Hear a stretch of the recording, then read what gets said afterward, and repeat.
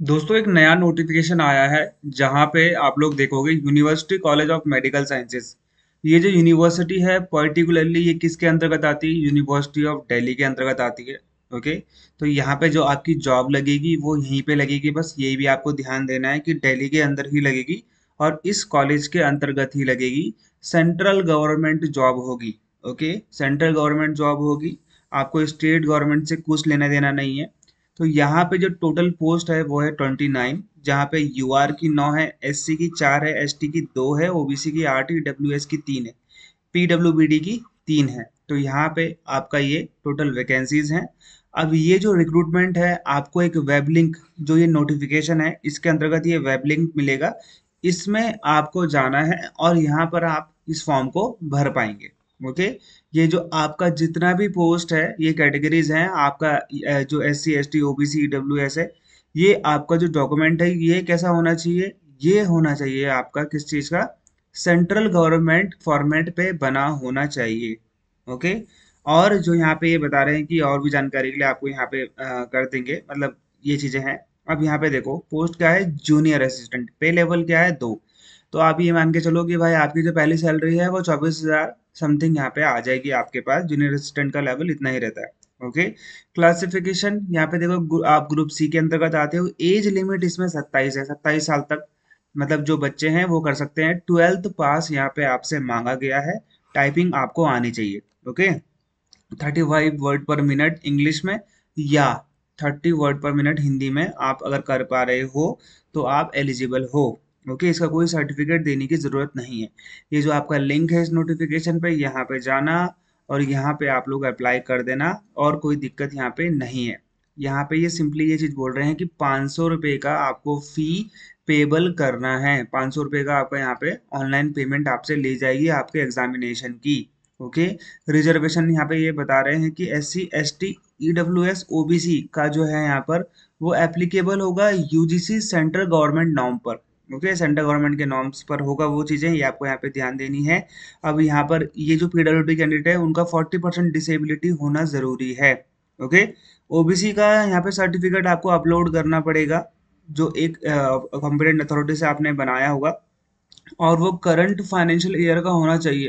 यहाँ पे ये लोग बता रहे हैं करंट फाइनेंशियल ईयर का होना चाहिए।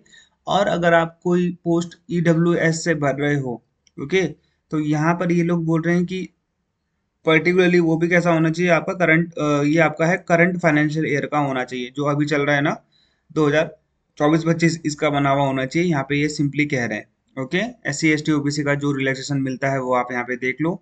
बाकी यहाँ पे ये आपके लिए इंपॉर्टेंट चीज़ें नहीं है ओके यहाँ पे सिंपली ये अब ये नॉन टीचिंग पोस्ट है आप लोगों के लिए। और ये जो नॉन टीचिंग पोस्ट है, यहाँ पे आपकी ग्रुप सी की पोस्ट है ओके मोस्ट प्रोबेबली जो आपका एग्जामिनेशन होगा, वो दिल्ली में ही होना चाहिए। अब यहाँ पे देखो, जब आप ये फॉर्म भरोगे तो ये फॉर्म भरने से पहले आपको ये चीज़ रेडी करनी है। सेल्फ अटेस्टेड का मतलब होता है, कोई डॉक्यूमेंट जो है आपके पास है, यानी कि उसकी फोटोकॉपी बोल रहा हूँ मैं। ओरिजिनल पे साइन मत कर देना। फोटोकॉपी पे आप अपना जो डॉक्यूमेंट है, उसको सेल्फ यानी कि खुद साइन करोगे। और उसको स्कैन करोगे स्कैन करने के बाद जो आपकी टेंथ की जो सर्टिफिकेट है बर्थ सर्टिफिकेट है, अगर आपके पास वो लगा देना टेंथ का पासिंग सर्टिफिकेट है, वो लगा देना marksheet okay essential qualification senior secondary का, ये आपको लगाना बहुत ज़रूरी है टेंथ और ट्वेल्थ का।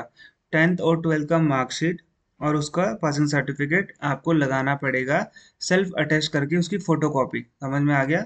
उसकी फोटोकॉपी आपको लगानी पड़ेगी, यहाँ पे अपलोड करनी पड़ेगी। ओके, डिग्री अगर आपने करी है तो कर देना एस सी एस टी का कोई डॉक्यूमेंट है तो कर देना।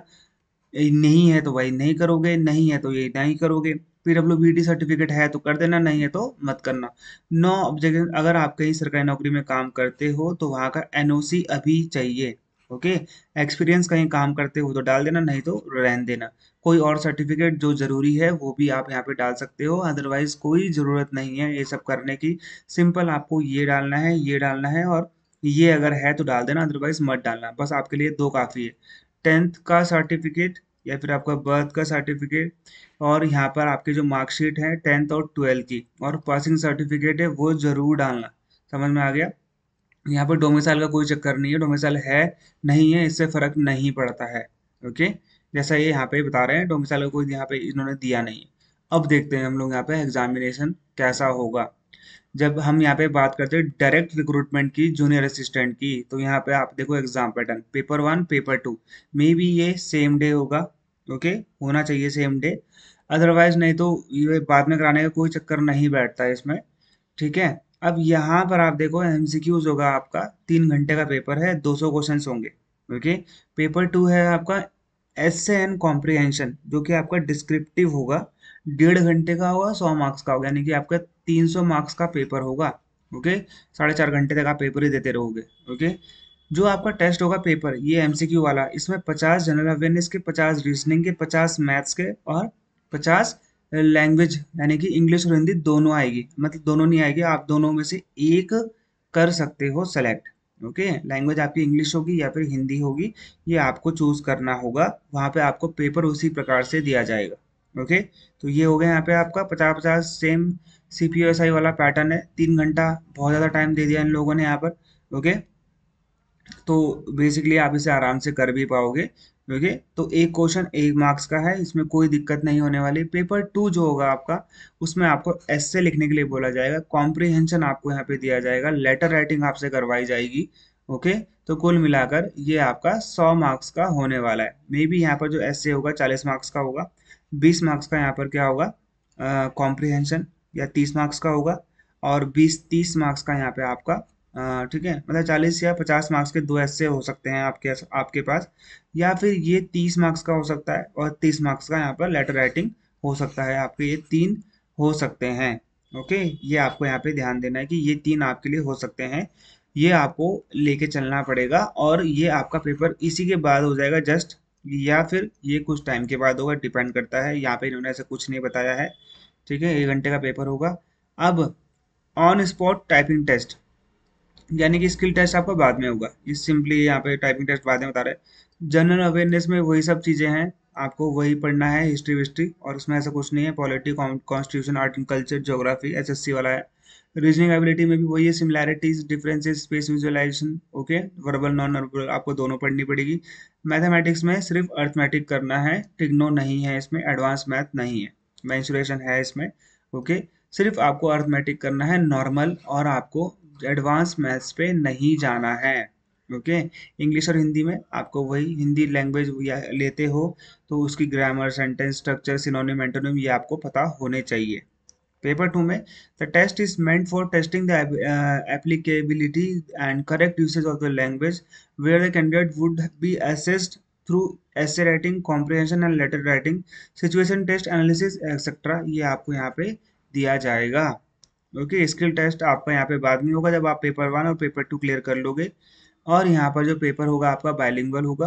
ओके जो क्वेश्चन होगा आपका ट्वेल्थ के लेवल का ही होना चाहिए। क्वेश्चंस यहाँ पे ऐसा बोल रहे हैं। पेपर वन पेपर टू ये कोई इंपॉर्टेंट नहीं है। पेपर टू आपका तभी चेक होगा जब आप क्वालिफाई कर जाओगे पेपर वन पे। समझ में आ गया? पेपर वन, अगर आप क्वालिफाई करते हो, तभी आपका पेपर टू होगा। मिनिमम क्वालिफाइंग मार्क्स कितने हैं? फोर्टी फाइव तो यहाँ पे आपको 200 में से कितना? 45 परसेंट मार्क्स लेके आने पड़ेंगे। तो ये चीज़ आपको कितना हो गया भाई? नब्बे हो गया आई थिंक है ना? ठीक है? तो नब्बे नंबर आपको लाने पड़ेंगे, तभी आपका पेपर टू चेक होगा। अदरवाइज़ आपने पेपर टू कितना भी अच्छा करा हुआ है, आपको वो लोग नहीं चेक करेंगे। ओके ये चीज़ क्लियर होगी यहाँ पे। निगेटिव मार्किंग है भाई one by four paper one में। पेपर टू में नेगेटिव मार्किंग नहीं है। ऐसा कुछ नहीं है उसमें कि आपके मार्क्स काट देंगे। पेपर वन पेपर टू आपको क्लियर करना है, फिर आपका स्किल टेस्ट होगा। और स्किल टेस्ट करने के बाद आपकी एक मेरिट आएगी, जिस मेरिट में पेपर वन और पेपर टू के हिसाब से बच्चों का सिलेक्शन यहाँ पे किया जाएगा। On the basis of paper one and paper two selection will be done okay so they will be a paper of 300 marks okay? And there are vacancies like uh, 29 vacancies were there. And what will you do next? What will you do next? तो क्या होगा अब? ठीक है इसका mock test मैं कोशिश करूँगा बनाने की। और इसका मॉक टेस्ट थोड़े टाइम के बाद या फिर अभी आ, शाम तक मैं जब ये वीडियो बना रहा हूँ तो आपको इस वीडियो के डिस्क्रिप्शन पे मिल जाएगा। ठीक है इसका फ्री मॉक टेस्ट होगा वो। ओके पेड वाला बाद में आएगा। फ्री वाला मॉक टेस्ट आपको इसके नीचे मिल जाएगा। वहाँ पे जाकर आप अटेम्प्ट करो, देखो और अपने हिसाब से अपने मार्क्स करो और उसके बाद तैयारी कर दो। ओके पेपर टू की तैयारी मैं करवा दूँगा, ऐसा कोई दिक्कत नहीं है। उसमें पेपर टू भी ज़्यादा हार्ड है नहीं। ओके पेपर टू भी हो जाएगा। अगर आप लोग तैयारी करते हो अच्छे से तो that will be easy for you okay और बस यही है सब। और कोई क्वेश्चन होगा तो मुझे कमेंट कर देना so that I will answer that question okay if I get the time okay then bye bye Jai Hind